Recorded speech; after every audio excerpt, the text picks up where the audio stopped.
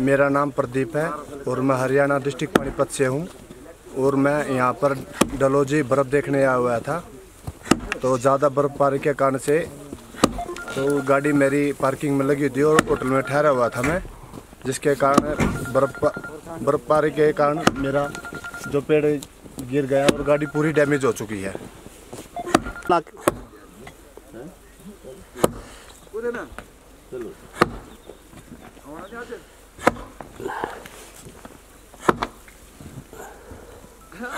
ने चालक तरुण Kumar, taxi driver, यहाँ पे भारी बर्फबारी होने की वजह से हमारी गाड़ियाँ फंस चुकी हैं और बाकी भी गाड़ियाँ फंसी हुई हैं। तो प्रशासन से हमारा यही निवेदन है कि कि हमारी गाड़ियाँ निकाले जल्दी जल्दी से निकाल दें। हम बाकी कस्टमरों को भी यहाँ से बाहर करें थोड़ा सा